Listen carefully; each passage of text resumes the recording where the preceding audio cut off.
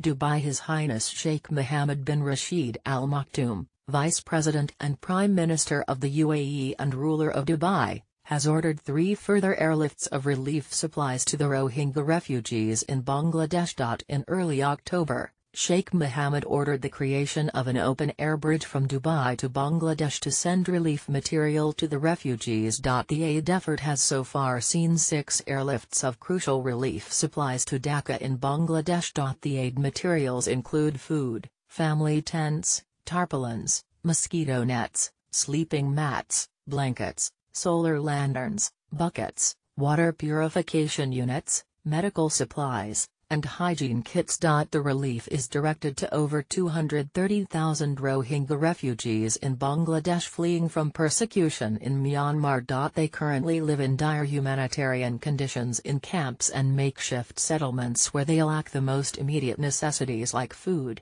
shelter, water, and closed. Violence in Myanmar has triggered the exodus of over 520,000 Rohingyas since last August. The International Humanitarian City was founded in Dubai in 2003. Chaired by Her Royal Highness Princess Haya bint Al Hussein, wife of His Highness Sheikh Mohammed bin Rashid Al Maktoum, Vice President and Prime Minister of the UAE and ruler of Dubai, and strongly supported by its board of directors. IHC puts Dubai's expertise in transport and logistics to assist its members in planning and delivering aid efficiently. To date, 12 flights have been sent this year from Dubai to crisis-stricken countries around the world, benefiting thousands of people affected by disaster and conflict.